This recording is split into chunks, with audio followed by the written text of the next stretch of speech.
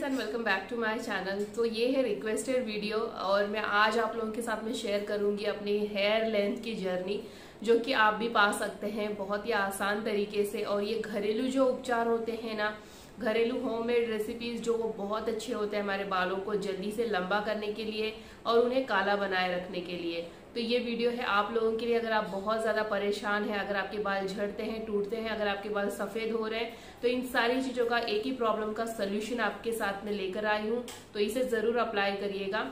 तो मैं आप लोगों के साथ में कुछ चीज़ें शेयर करना चाहती हूँ। जैसे आप लोगों ने मेरी पहले भी वीडियोस देखी होगी तो मैंने बहुत बार अपनी हेयर कटिंग करवाई है। और उस हेयर कटिंग के दौरान में मुझे ऐसा लगता था कि मेरे हेयर ग्रोथ होगी कि नहीं। बट मैंने ना स्टार्ट किया था अपनी हेयर को ग्रोथ करने के लिए और अगेन एंड अगेन ऐसे रिक्वेस्ट आती थी कि मैम आप ज़रूर अपने हेयर कटिंग करिए।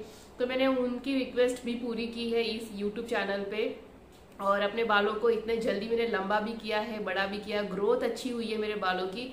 तो आप भी पा सकते हो। और ये बहुत ही अच्छा सा हेयर ऑयल जो मैं आप लोगों के साथ में शेयर करने वाली हूँ दोस्तों, ये देखिए। आप इसे बना के स्टोर करके रख सकते हैं कंटेनर में और ये बहुत ही अच्छा होता है आपके बालों की ग्रोथ के लिए।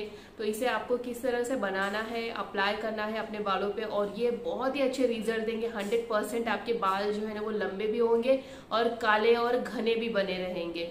और एक भी बाल आपका नहीं टूटेगा दोस्तों, ये बहुत ही अच्छा सा होममेड जो डी होते हैं ना, ये इतना अच्छा वर्क करते हैं हमारे बालों के लिए कि आप खुद जब इसका यूज़ करना स्टार्ट करोगे ना तो ये बहुत ही अच्छे से आपको भी रिज़ल्ट देंगे।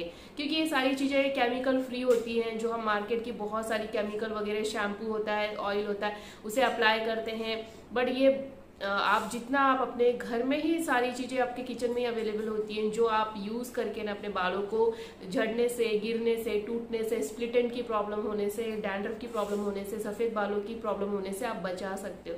तो चलिए ज़्यादा बातें नहीं करूँगी और आप लोगों के साथ में शेयर करती हूँ इस रेमेडी को, किस तरह से इसे बनाना है और पूरी मैंने लाइव डेमो करके बताई है दोस्तों, किस तरह से मैंने अप्लाई किया अपने बालों पर किस टाइम पे आपको इसे अप्लाई करना होता है, उन सारी चीज़ों का आपको नॉलेज लेना बहुत ज़्यादा ज़रूरी है। तो वीडियो को स्टार्ट कर लेते हैं और देखते ही इसे हमने किस तरह से प्रिपेयर किया। So let's get started friends आज मैं आप लोगों के साथ में शेयर करूँगी एलोवेरा प्लांट से आप ना फे हर्बल शैम्पू बना सकते हैं और हर्बल हेयर ऑयल बना सकते हैं, जो कि आपके बालों को तेज़ी से लंबा करेगा। तो दोस्तों, यहाँ पे एलोवेरा को हमने पानी में नीचे की तरफ़ निचोड़ के रख दिया है। उससे ना येलो कलर जो होता है, वो रिमूव हो जाता है। अब हमें यहाँ पे एलोवेरा के प्लांट्स को इस तरह से कट कर लेना है। आपको फ्रेश एलोवेरा ही लेना है दोस्तों। फ्रेश एलोवेरा के लीव्स ही लेने हैं। इसे अच्छी तरह से आपको कट कर लेना है एक बाउल में।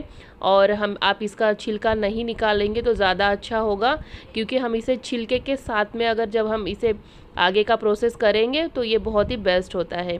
इसे आपको कट कर लेना है। सबसे पहला जो प्रोसीजर होगा, उसे हम यहाँ पे बनाएँगे शैम्पू तो शैम्पू बनाने के लिए आपको लेना है फ्रेश एलोवेरा के ये जो लीव्स है, उसे ले लीजिए। और एलोवेरा हमारे बालों को झड़ने से बचाता है, बालों में मजबूती लेके आता है, बालों को शाइनी बनाता है, इसके बहुत सारे फ़ायदे होते हैं दोस्तों। तो इस तरह से आपको लेना है, इसके, इस एलोवेरा के अंदर आपको डालना है आंवला का जूस अगर आपके पास आंवला जूस नहीं है तो आप इसे स्किप कर सकते हैं। और अगर आपके पास है तो यहाँ पे आंवला का पाउडर भी आप यूज़ कर सकते हो और वाटर डाल के इसका आप ग्राइंडर में मिक्सर ग्राइंडर में पेस्ट बना सकते हैं। तो ये दो चीज़ें हो गई, हमने कर ली है रेडी अब यहाँ पे आपके पास जो भी शैम्पू है दोस्तों हर्बल शैम्पू आप उसी का यूज़ करिए। मेरे पास ये हर्बल शैम्पू है तो मैं इसका यूज़ करूँगी। एलोवेरा के जूस और हमने आंवला के जूस में इस हर्बल शैम्पू को ऐड करना है। आप जितना शैम्पू आपके हेयर लेंथ अकॉर्डिंग ले लीजिए। और उसके बाद इसे अच्छी तरह से मिक्स करके अब हमारा जो शैम्पू है, जो फ़र्स्ट प्रोसीजर वो रेडी हो चुका है। इसके बाद हम हेयर ऑयलिंग बनाएँगे। तो दोस्तों, ये शैम्पू बहुत ही हर्बल है, जिससे कि आप अपने बालों को झड़ने से बचा सकते हैं। बालों की हर समस्या से आपको ये निजात दिलाएगा। बालों को ना दोस्तों, ये काला करने के लिए आंवला बहुत अच्छा होता है। एलोवेरा भी बहुत ज़्यादा हेल्पफुल होता है। और इसका कोई साइड इफ़ेक्ट नहीं है। ये हर एक चीज़ जो है वो नेचुरल है और यहाँ पे जो मैं शैम्पू यूज़ कर रही हूँ, वो भी काफ़ी अच्छा है और नेचुरल है। इसके कोई भी साइड इफ़ेक्ट्स नहीं होते। तो इस तरह से आपको ये शैम्पू बना के रेडी कर लेना है। अब दोस्तों, बाकी के जो एलोवेरा प्लांट्स बचे हुए हैं ना, इसको आपको लेना है। और आपको इसे ना एक कन, यहाँ पे बाउल में ले लीजिए ताकि आप इसको ना डबल बॉयलर कर सको। दोस्तों, हम यहाँ पे सिर्फ़ और सिर्फ़ डबल बॉयलर ही करके अपने हेयर ऑयल को प्रिपेयर करेंगे। ये बहुत अच्छा होता है। आपको डायरेक्टली यहाँ पे एलोवेरा के जो प्लांट्स है, उसे नहीं पकाना है। क्यों नहीं पकाना है? क्योंकि जो इसकी जो कंसिस्टेंसी होती है ना, ये पूरा जल जाता है तो उसका तत्व नहीं मिलता। तो इसे आपको जलाना नहीं है डबल बॉयलर में ही हम इसके, इसे हम बॉईल करेंगे। तो उसके लिए आपको कोकोनट ऑयल जो वर्जिन कोकोनट ऑयल होती है ना दोस्तों, आपको वो लेना है। अगर आपके पास वर्जिन कोकोनट ऑयल नहीं है तो आप ऑप्शन में ले सकते हैं। नारियल का तेल भी ले सकते हैं। यहाँ पर मैं वर्जिन कोकोनट ऑयल का यूज़ कर रही हूँ और इस एलोवेरा के आपको लीव्स में ऐड कर देना है। तो आप जितना मन चाहे उतना आप बना के इसे रेडी कर सकते हैं।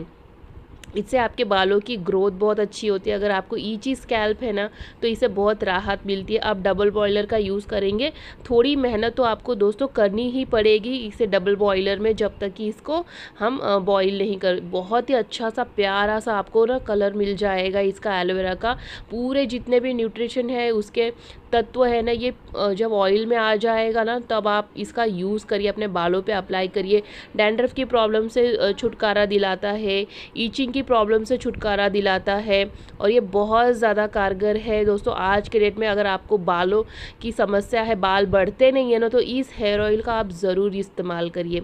एलोवेरा में विटामिन ए विटामिन सी और ई e की मात्रा काफ़ी ज़्यादा पाई जाती है, जिससे कि ना हमारे जो हेल्दी सेल्स होते हैं ना, वो ग्रोथ करता है प्रमोट करता है एलोवेरा और बालों को चमकदार बनाता है। इसमें मौजूद विटामिन बी ट्वेल्व और फॉलिक एसिड बालों को गिरने से रोकने के लिए बहुत ज़्यादा मदद करते हैं। आपके बालों की ग्रोथ होती है, बाल टूटते भी नहीं हैं इससे।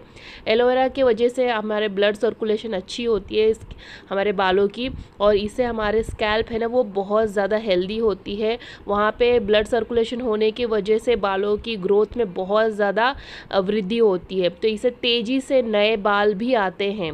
तो ऑयलिंग करना बहुत ज़्यादा ज़रूरी होता है। तो इस तरह से डबल बॉयलर में जैसे आप देख रहे हो ना दोस्तों, इसी तरह से आपको इस तेल को बना लेना है और इस हेयर ऑयल को आप ना दो टाइप में यूज़ कर सकते हैं दोस्तों।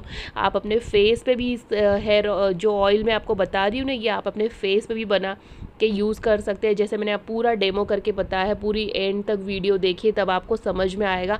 मैंने अपने बालों में इसे अच्छी तरह से चम्पी करके आप लोगों को दिखाया है। अपने स्किन पे भी आपको इसे यूज़ करना होता है।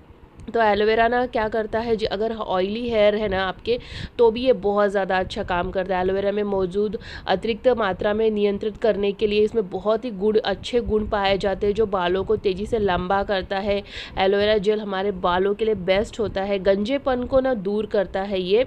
गंजेपन को दूर करने के साथ साथ में ये नए बाल उगाने के लिए भी बहुत ज़्यादा गुणकारी होता है। आपको मैंने जो शैम्पू बता दिया है, वो शैम्पू आप उसी तरह से बनाइए, लगाइए अपने बालों पर सबसे पहले जब भी आप नहाने जाते हैं, दोस्तों, देखिए मैं यहाँ पे मॉर्निंग में नहाने से आधा घंटा पहले आपको ये ऑयल को अच्छी तरह से अपने बालों पे चम्पी कर लेना है और चम्पी करने के बाद इसे आधे घंटे तक इसी तरह से छोड़ देना है। अगर आप इसे ओवरनाइट भी यूज़ करते हो ना अपने बालों पे तो ये बहुत ज़्यादा वर्क करेगा। बाल इतने जल्दी जल्दी लंबे होंगे ना, आप खुद हैरान रह जाएँगे कि इतने जल्दी में हम आपके बाल लंबे हो रहे हैं। मी गाइज़ मेरे, जो मेरी जो बालों की स्टोरी है तो मैं ये सारी चीज़ें यूज़ करती हूँ और ये बहुत ही बेस्ट रिज़ल्ट देते हैं। तो नहाने से आधा घंटा पहले आपने लगा लिया। उसके बाद जो मैंने आपको, आप लोगों को हर्बल शैम्पू बताया है सेम उसी तरह से अपने बालों को हर्बल शैम्पू से ही वॉश करिए और ये बहुत ही अच्छे रिज़ल्ट देंगे। कम से कम हफ़्ते में तीन बार इसका इस्तेमाल ज़रूर करिए। इससे आपके बाल जल्दी से लंबे होंगे, बाल सफ़ेद बाल जो हो रहे हैं आज के डेट में, उससे भी आपको निज़ात मिलेगा। सफ़ेद बालों की जो समस्या है, आज के डेट में बहुत से लोग के जल्दी से बाल सफ़ेद हो जाते उससे भी ये बचाएगा, बहुत ही कारगर और ये घरेलू उपाय जो होते हैं ना फ्रेंड्स ये बहुत अच्छे होते इससे आपके बाल भी बहुत अच्छे होंगे, लंबे भी होंगे, बालों की ग्रोथ अच्छी होती है, बाल सफ़ेद नहीं होते डैंड्रफ की प्रॉब्लम नहीं होती है। बहुत सारे रीज़न्स होते हैं जो भी, लेकिन आपको हेयर ऑयलिंग करना मस्ट है और हर्बल शैम्पू से ही अपने बालों को हमेशा वॉश करते रहिए। तो इस तरह से मैं मॉर्निंग में अपने बालों पे इसे अप्लाई कर रही थी। और दोस्तों, आप ज़रूर इसे शेयर करिए अपने फैमिली फ्रेंड्स एंड रिलेटिव्स के साथ में इस यूज़फुल वीडियो का। अगर वीडियो पसंद आती है तो ज़रूर लाइक करिएगा एंड शेयर ज़रूर कर दीजिए दोस्तों एंड सब्सक्राइब भी कर सकते हैं। आप अगर नए हैं तो सब्सक्राइब ज़रूर कर लीजिएगा। तो यहाँ पे आप अपने बालों की बात हो गई, हमने बालों पे इसे अप्लाई कर लिया। देखिए, पूरी अच्छी तरह से आपको चम्पी करना होता है।